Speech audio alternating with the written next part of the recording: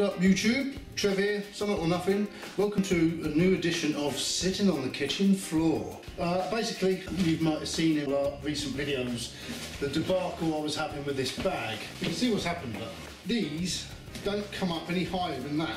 And there's that ridge there. So your shoulders are here. The back of my head is here. It's just restrictive and awful. I don't know if anyone else has had that issue for some reason, and that's it, that's as high as it goes. So whether that was always an issue and I just made more of a fuss of it, I don't know. But anyway, I spent nearly 70 quid on that bag, so it wasn't cheap cheap, but it wasn't like really expensive. But it's let me down. Thought enough's enough, I'm not having that bag. So I've ordered a new bag, this, Quechua Forclaz 50, it's a 50 litre bag. Which has all prompted me to make this video because I've got quite a lot of stuff in this bag I've got to fit it into this bag. This was a 65 plus 10. This is a 50. So weight reduction. Nafe's running up that route. I've sort of been putting it off cost wise more than anything. But I think from going one bag to the next and leaving room for my cameras, I think I'm going to have to do some sort of weight reduction video. So here we go. Let's look at everything I carry. I'm even going to write it down. Wondering Jay, you'd be proud of me. Well, first of all, my little mat. To be honest, it's crap. It's not big enough. If I sit on that, I always get wet. So the last couple of times, I haven't actually took it out. So that was 24 grams. Bin. Right, phone charger. Charger, USB charger. It seems to work, but you've got to keep an eye on it. I don't understand it. If I plug my stuff in, it seems, that it seems to charge for a little while. Then when I come back, it's off. But I'm going to give it another go because if we're out on the trail and we do run out of phone, this will be handy. Solar charger for keeping that. Now, I don't know whether to sell this bag on or um, hang on to it, use it for spare. Right, side pockets. Tin mug, 110 grams, it's going in. Now, first aid kit. Now I'm sure there's stuff in here that I don't need. Let's just weigh this.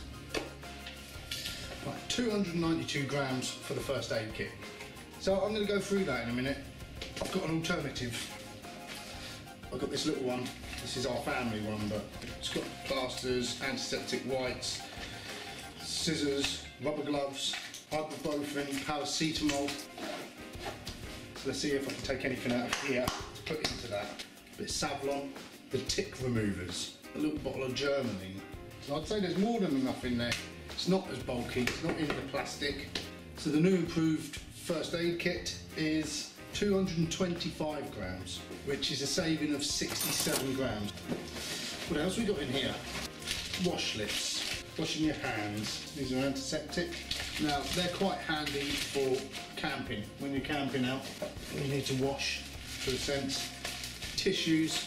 I probably don't need three packs of tissues, so we're not going to put these in here, so weighing them. 47 grams. So tissues, hand wash, another hand wash. I'm going to get rid of this one. 53 grams. So that's my toiletries.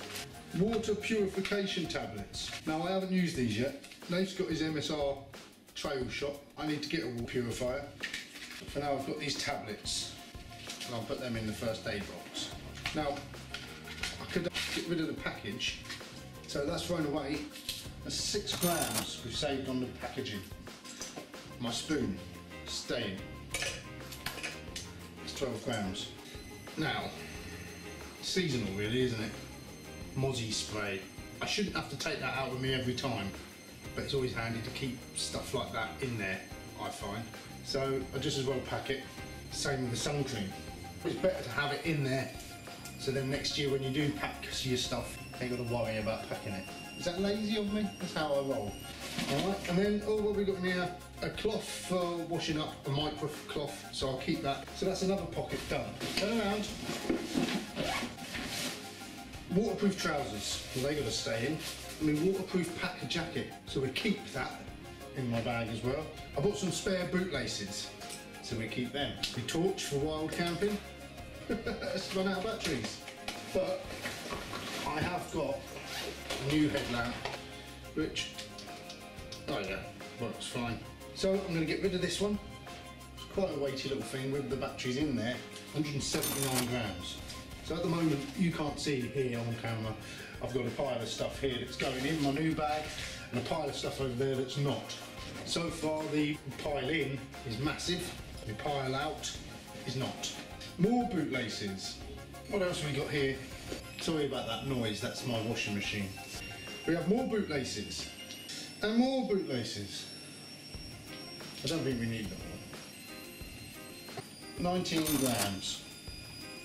I've got a number of tools now, bushcrafty tools. My little knife with all the different blades. Got have one of them when you go out? Never used it. 107 grams.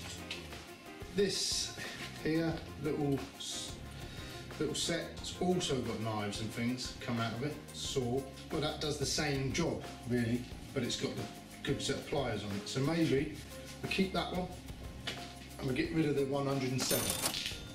And then this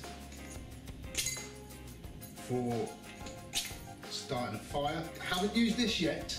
That doesn't mean I'm not going to. So I'm going to keep that in there as well in my little bushcrafty section. One full hip flask of rum. 274 grams. So I think we'll keep that one. We've got a plastic plate. If we're eating the adventure field foods, we're just eating out of the packages. But if I was to have porridge or something in the morning, I'd keep it in the duct tape. Now after my boots collapsed on scaffold pipe, I've been told to always keep a set of that in. There's more cables there for the uh, solar charger. I shouldn't think I will need all these in here. I'm going to get rid of them. So 31 grams, that's all the pockets. Now we go into the main area. Hiking poles. I'm not entirely sure where these fit on this bag yet. The same thing with um, my sleeping bag and my tent. Used to pin nicely onto the outside of this one. This one hasn't got the same sort of strapping. I've got to get a new set of these.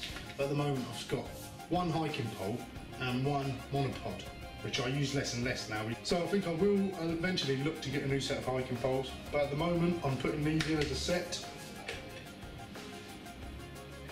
564 grams for my hiking poles. My map is going to go from one to the other, obviously. Somewhere I've got a Trangia stove that will eventually replace Jetboil. ball. I don't want to get rid of Jetboil. ball, I quite enjoy it, it's quite quick to make food, but there could be a weight saving there. And I've got a spare canister here. We'll keep one spare. 138 grams. My binos. Now, I don't use these a lot anymore. We used to use them a fair bit. They're handy to have, I guess. But for this adventure, I'm going to take them out. I'm looking for room saving, so 364 grams for my binoculars, saving. My safety blanket. Now, I was told when I first started by a chap who said he never took one. Um, one night he broke his leg up on the moors and he almost died of hypothermia because he had to, he didn't have one of these. So he said he's always carry one. So off of his advice, I am going to keep that. So that's my old bag emptied. So far, I have made a saving of 1,036 grams. So just over a kilogram. Now, just out of interest, I measured my bags. The new bag comes in at 1335 so one kilogram 335 grams the Vango was two kilograms and 100 grams so that's an additional saving of 765 grams so if you add that onto what I've saved already in that little pile over there that's almost two kilograms so here we go so it seems to fit all right feels snug can adjust it all tight when I've got my jacket on but more importantly I've got room for my head. So there we go, I've changed bags. I'll let you know how that goes when we're out on the field. As I said, I've still got my Vango Sherpa. I think I'm gonna have to keep that one as a spare. Maybe even have a fiddle with it and see if I can get it to free up my head. But from looking at it, that's not going up any higher. You can see that there. See the step? So your head is just constantly hitting that. It didn't matter what we did, if I relaxed it off so it fell away, it didn't really. So, yeah, I don't know, help me out people. So that was my little video. I've saved myself a few grams. Nathan will be proud. What a difference a bag makes. Anyway, thanks for watching me. I know you probably haven't learned anything, but you're just watching me struggling here. Anyway, lovely to see you. Thank you for watching. Please drop a comment below. Don't forget to like, subscribe, blah blah blah, all that sort of stuff. And uh, we'll see you out on the trail. Good night.